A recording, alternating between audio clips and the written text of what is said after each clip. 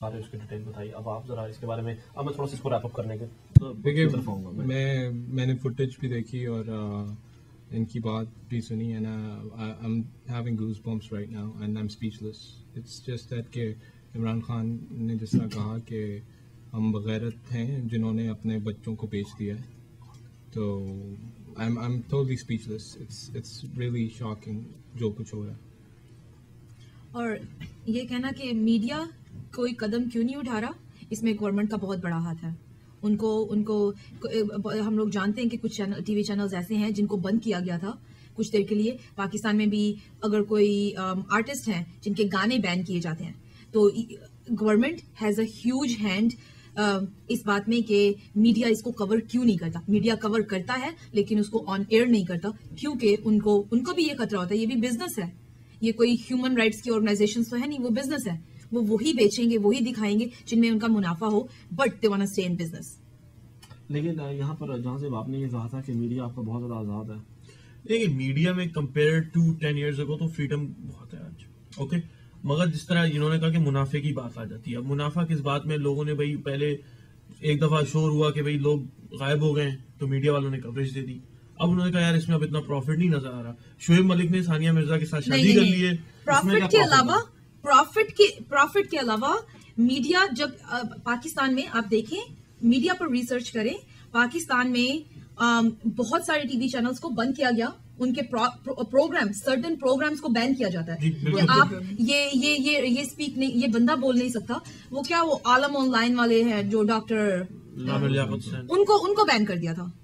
Yeah, but this is like a लेकिन the, the point is the point is कि इसमें नहीं नहीं the point is कि वो सर्टन लोगों को बैन करें सर्टन प्रोग्राम्स को बैन करें गवर्नमेंट ने नहीं बैन किया था उनको तो जियो ने आके जो है वो वैसे जो है के खिलाफ और दूसरी बात आपकी बात मैं मानता हूँ कि जी बहुत सारे सिंगर्स को बैन कर दिया गया था। ये बहुत पुरानी बात है जिस तरह आपने कहा कि आजकल मीडिया बहुत आज़ाद हो चुका है। Still pressure exactly still pressure लेकिन देखें बहुत सारे इंडिपेंडेंट सोर्सेज है जिसके थ्रू हाँ। जो है एनलाइटन किया जा सकता है इन सारे इश्यूज़ को और हम लोगों को अपनी सी एफर्ट करनी चाहिए और ये भी हम गनीमत जानेंगे हमारी मीडिया जो है फिर भी जिस तरह इवान रिडली से से जब इंटरव्यू लिया था उन्होंने स्पीच दी थी तो उन्होंने यही कहा था कि पाकिस्तान में media is right now going through renaissance compare to western media which is completely a business it is a money making business compare to that Pakistan media ने फिर मैं ये नहीं बोल रहा कि मीडिया मगर अब पाकिस्तान मीडिया भी एक बिज़नेस है। उनका कहाँ पे मुनाफा है वो उसमें जाएँगे। तो अब हम लोग को ये अवेयरनेस लोगों तक पहुंचानी है जो मतलब आपका शो है इस तरह। अब इससे जो भी हमारी रीच है, उससे लोगों को ये चीज़ हमें पहुंचानी है। And the more we do that people में इंटरेस्ट होगा तो फिर मेन स्ट्रीम मीडिया भी इस तरफ़ आए, आता जाएगा। जो बड़े बड़े चैनल्स हैं, उनको भी ये कवरेज देनी पड़ेगी जब लोग इस चीज़ में इंटरेस्टेड होंगे। और पहले वो इंटरेस्ट आपको पैदा करनी होगी। और दूसरा सही इंटरेस्ट पैदा करना। ज़्यादा लोग यार आपके आपके लापता हैं उन लोगों को पता नहीं। अभी आपने आमना मसूद जंगवा की बात सुनी। जी। बहुत से लोग मर चुके हैं अपने बेटों के बेटियों के इंतज़ार में। बहुत से लोग अपने बिस्तरे मरक पर बैठे हुए हैं। और आप अब यहाँ पर मुनाफे की प्रॉफिट्स की और हम इसकी बातें कर रहे हैं। चाहिए। मैं ये नहीं कह रहा पाकिस्तान में ये पाकिस्तान में है जो लोग लापता है दस हज़ार के करीब। अमेरिका में भी नाइन इलेवन के बाद up to two thousand five तक रिपोर्ट्स हैं कि जो पाकिस्तानी या मुस्लिम्स रोड पर जो ट्रैफ़िक पुलिस ने उनको पकड़ा था, वो गायब है, उनके बारे में भी कोई इल्म नहीं है कि वो कहाँ है। तो वो आफिया सदीकी का केस थोड़ा बन गया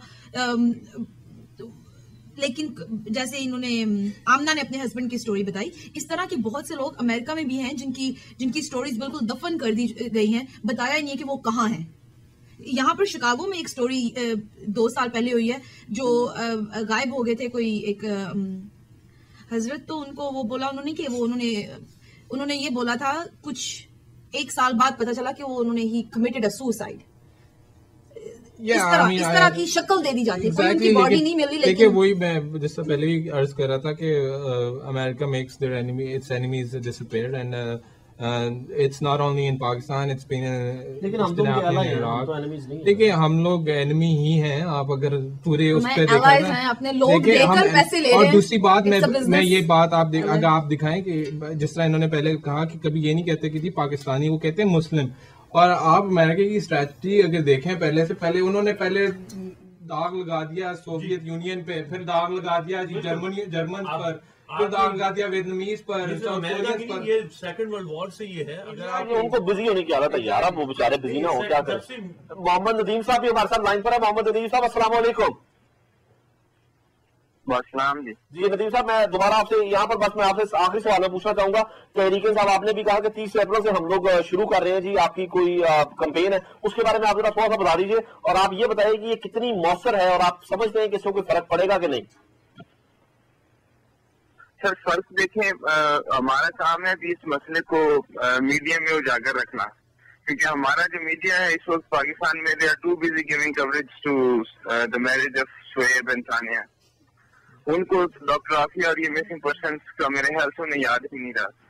तो हमारा मीन्स हम लोग कोशिश कर रहे हैं कि इस मसले को किसी तरीके से आवाम के सामने रखा जाए कि this is the problem means जब आप दस दस हज़ार लोगों को बिना किसी एफ़ आई आर के बिना किसी जुर्म के उठा के तो उन्हें डिटेंशन सेंटर में डाल देते हैं। तो दस हज़ार फैमिलीज़ का क्या होगा? जो बेचारी शायद उनकी फैमिली में एक ही था जो कमाने वाला था। मेरे ख्याल जो कंपेन हम लोग चलाने लगे हैं। वेरी श्योर कि ये इस मसले को जो है ना दोबारा से एक दफ़ा मीडिया में ले आएगी। चले नदीम साहब हमारे साथ रहिएगा मैं यहाँ पर कुछ होगा। से आकर मैं आपसे एक और सवाल करूँगा उसके बाद हम आपको इजाज़त देंगे। हमारे साथ रहेगा वो right back after short break